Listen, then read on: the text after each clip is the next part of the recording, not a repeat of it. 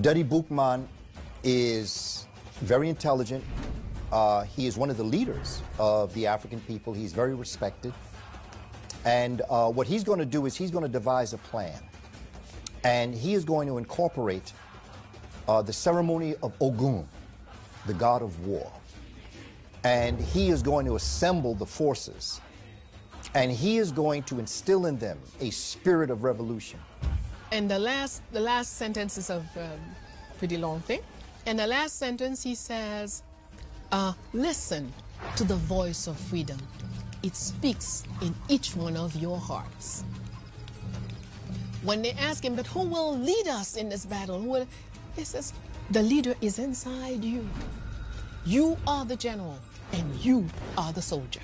Now get to work. He comes from the form of, of just total understanding of what war is. There, there is no conceptual framework of, of peace.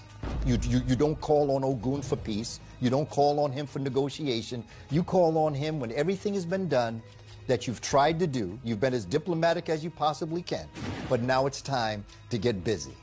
I have not seen anywhere where there's some text in voodoo that says forgive and forget.